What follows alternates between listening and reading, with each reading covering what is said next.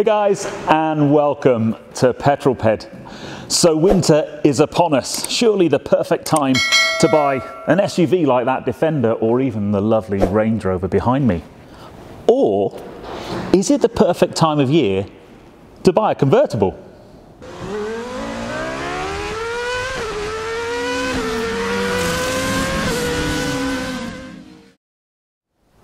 So I've popped in to my good friends at Anthony James Cars because I haven't been here for quite a while. And I was talking to Daniel on the phone recently. He said, Look, we've got some great cars in stock. Pop over, have a cup of coffee, and have a look round. Well, my eye is instantly drawn to this absolutely stunning red Audi Quattro next to me. I mean, if you want to be Gene Hunt and fire up the Quattro, this is the car for you. It's in immaculate condition. But actually, today's video isn't about this car, although I am quite tempted to take it up the road for a spin.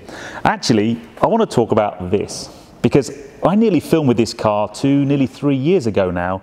This is a V6 F-Type convertible. Nothing special, I hear you cry. However, there's something very special about this car. But it got me thinking, I love my convertibles.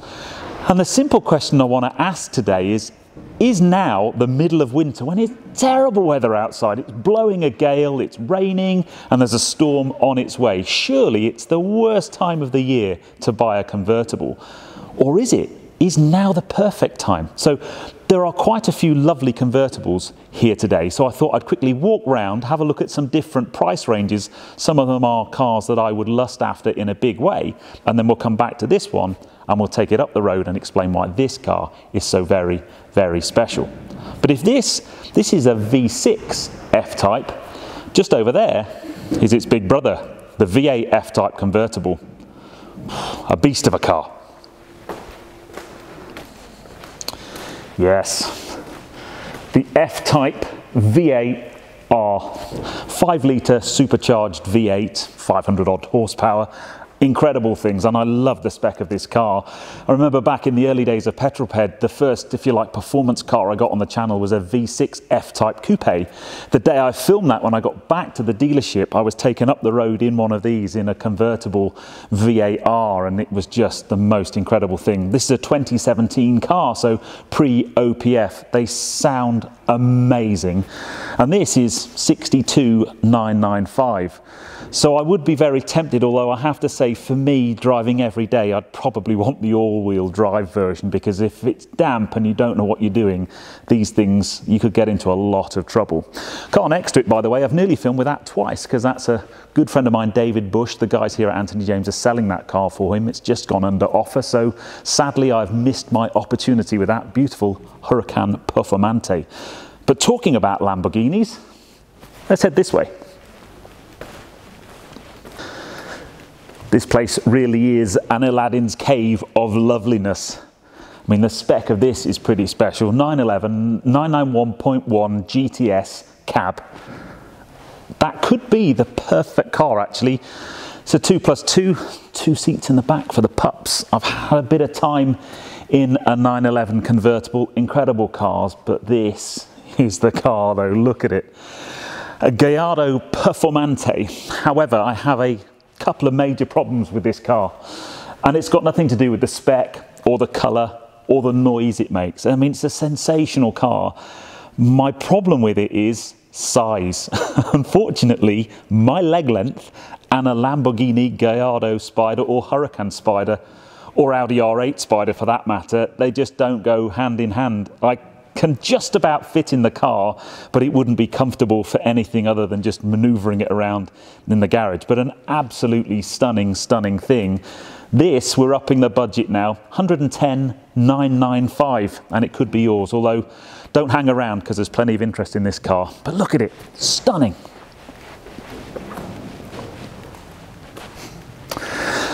Now then, this is a tale of Porsche loveliness, one I could probably afford, one I can't. the one I can afford is this 2017 718 Boxster S 51995. Really lovely spec, it's got the turbo wheels, and actually from a Porsche perspective, a Boxster would be right up my street. The car I really want and the car I can't afford is this. Now, hopefully, you've watched my recent NC500 adventures in the Cayman GT4 manual. This is a 718 Cayman GT4 PDK and it's got like 600 miles on the clock. It's pretty much delivery mileage. Stunning spec. And I only wish, I only wish my budget would stretch that far. But yes, considering we're talking about convertibles, this 718 Boxster ticks a lot of boxes. See what I did there? So as you can see, plenty of convertible goodness. I haven't even mentioned the AMG GTC convertible over there, which is one of the highest spec I've ever seen. Beautiful, and the carbon ceramics and the brake calipers. Amazing car. But let's come back to this one because I kind of said in the opening that there was something pretty special about this F-Type. Now, actually, although for me the V8 F-Type has the noise and the drama, and if you've got the all-wheel drive version, maybe a little bit more everyday, uh, it's easier to live with. Arguably, the V6 F-Type is a better driver's car. It's slightly lighter on the nose. It's a little bit more dynamic. And when you, when you get the V6 in one of these singing, it, they make an incredible noise. But what makes this car so special is it's a manual.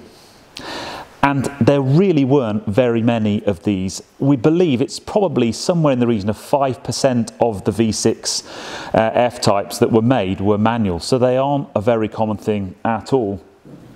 And obviously never driven a manual F-type, so about time we did.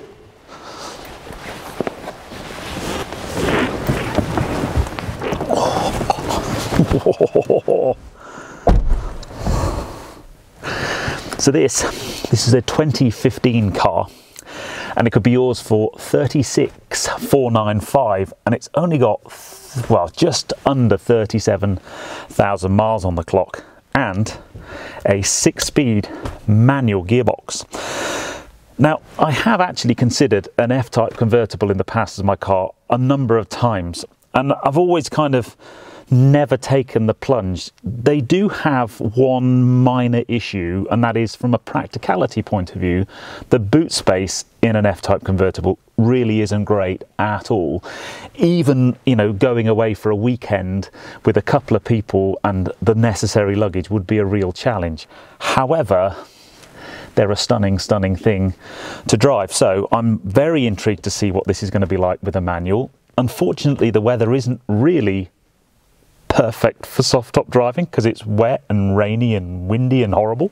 But let's get some cameras going and we'll take this for a drive. And let's talk a little bit more about this premise that I kind of put out there. Is it a good time of year to buy a convertible? It's probably not such a good time of year to drive one though.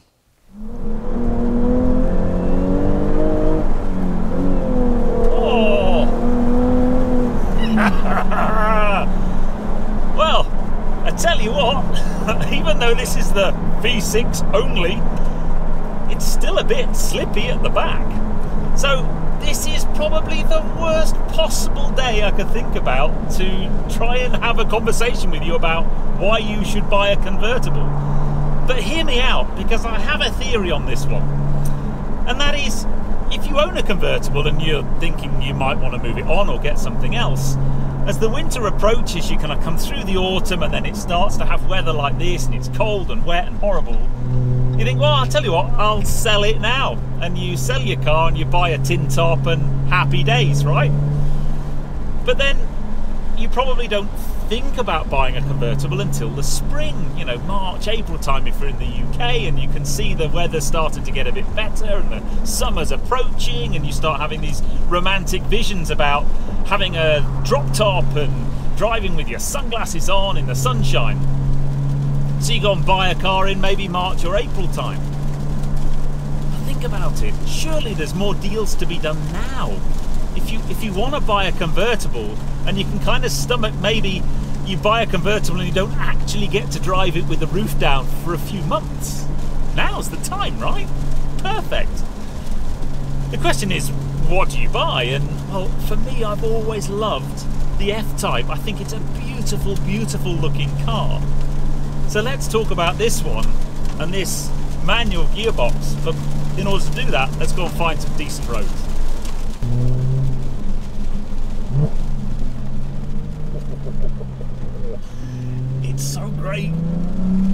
Driving an F-Type with three pedals. Although, it must be said, it's pretty horrible road conditions today. It's very, very wet. And these, although they are the baby brother of the F-Type range, they still got a lot of poke. So you do still have to treat it with a lot of care and respect. What I am loving is driving this car, pre-OPF car. It sounds fantastic. When you're brave enough to get it on song, you can just have a little blip of the throttle on the way down.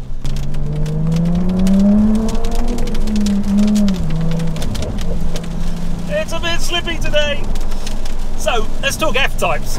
So the V8 F-Type is an incredible car, and I know this sounds really daft, but I always prefer the aesthetics of four exhausts sticking out the back of the car than two that you get on the V6. But arguably, the V6 is the thinking man's F-Type. In fact, actually, probably the 2 litre is the thinking man's F-Type. It's a cracking little car. But the V6 has an amazing engine tone, a great amount of performance, but it's just that little bit lighter, that little bit more nimble. And whenever I've driven F-types in the past, and I'm lucky I've driven quite a few. They've all had the 8-speed ZF gearbox, which is a really nice, sweet changing gearbox. Wow, it's not a job you want today, is it? Safe to pass, yeah. Um, and I'm just thinking this is, I think, probably the first... Oh, sounds good. The first Jaguar I've driven has got a manual box. As I said in the earlier on in the video, it wasn't something that was specced a huge amount. They're quite a rare thing. In fact, the first time um, when I saw this car, I didn't even know they did the F-Type in a manual. I'd never seen one. So, you know, the, the, the novelty of having a manual box in an F-Type is something I quite like. In terms of driving, these cars are fantastic. I've not got the massive amount of leg room in this car, and, and I've never actually driven a convertible F-Type before. And I'm now starting to realise that, well, it's probably a good reason, you know, thinking back in the past when I thought about buying one, probably wouldn't have been a very sensible car for me to buy personally. The coupe is loads of legroom, but this, I think over time, my seat bones are quite angled into the seat. I think I'd probably have quite a sore bum after a while the rest of the car in terms of driving position, I've got the steering wheel nice and close to me, and it's a lovely, lovely place to sit. It's a 2017 car, so clearly it's got 2017 infotainment system, and let's face it, JLR didn't have the best infotainment system. The latest one is actually pretty good, but this, not so much. So I think you know you'd have to learn to live with that. But everything else in here is great. These seats look great apart from the fact I could do with about five inches being cut off my legs. It's alright, eh?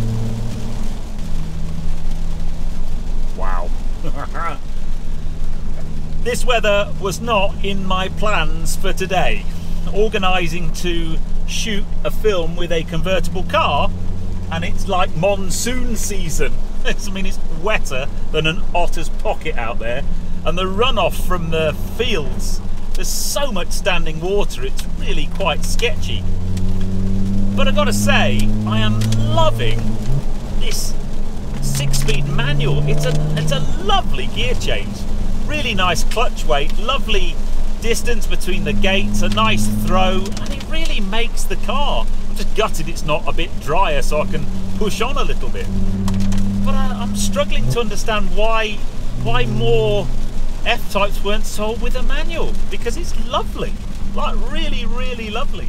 And in the days where you struggle to get a performance car with a manual box, it makes such a nice change. but let's go head back the way we've come. Oh, look at that massive amounts of stand. Oh my days. Oh, I want to go back and have a cup of tea. Here we go. But it really does give even more character to the car. It's just a shame I can't drop the roof and again an awful lot of wheel spin. There's a lot of standing water. I'm just going to take it easy having driven down this road already. It is Aquaplane Central. So yeah, the the thought of having an F-Type convertible, sadly, I think now I'm going to have to park that one for the long term because, as I've mentioned, there just isn't quite the legroom in this car for me to live with on a, a long term basis. I've got to say though, for the price, you're getting a lot of car. I mean, seriously? These things are beautiful, beautiful sounding cars.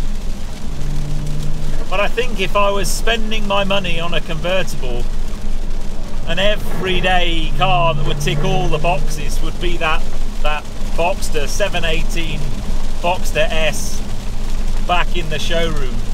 You've got so much more practicality in that car. You've got a nice big boot up front. You've got some space in the back. That's a PDK, so you don't get the lovely manual change. You can get them in manual, obviously. So yes, today isn't the obvious day to think about buying a convertible, but one thing that's worth mentioning is a modern day convertible have multiple layers of canvas or, or soft top material that insulates the car. So even though it's freezing cold outside, with the aircon on, it's it's no different in here in terms of temperature than it would be in a coupe. Wind noise and, and so on, again, they're they're actually really good at high speed on a dual carriageway. I'm getting a little bit more noise today from the rain banging on the canvas on the outside, but not that much more. So you can actually live with these through the winter.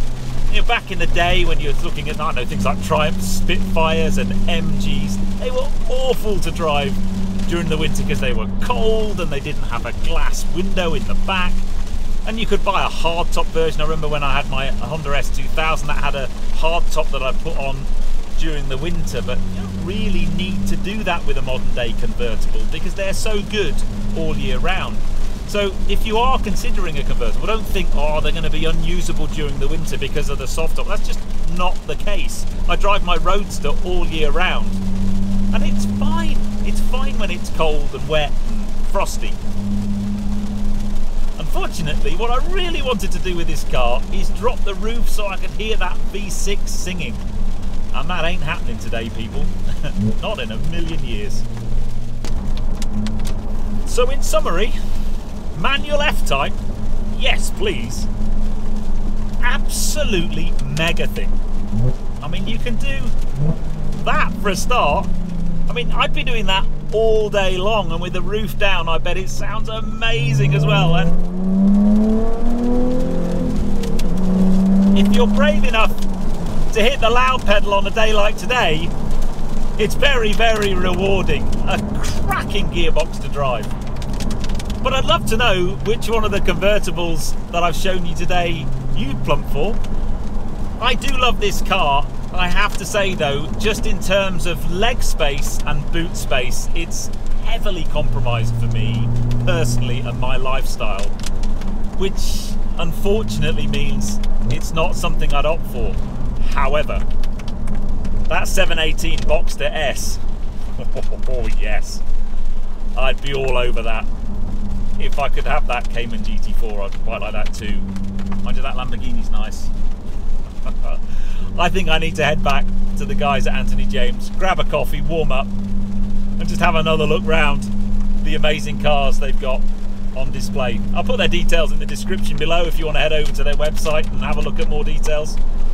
Massive thank you to Daniel and the team though at Anthony James. They we talk a lot and message each other a lot and whenever there's something nice in stock they're like come on come on over have a drive um, and sadly, the weather wasn't on my side today, but I hope you've enjoyed it anyway. If you have done so, oh, listen to that. Give me a thumbs up. Comments below are always welcome. And if you haven't done so already, please subscribe to Petrol Ped for plenty more content to come. And I'll see you on the next video. But you take care, guys. Drive safe.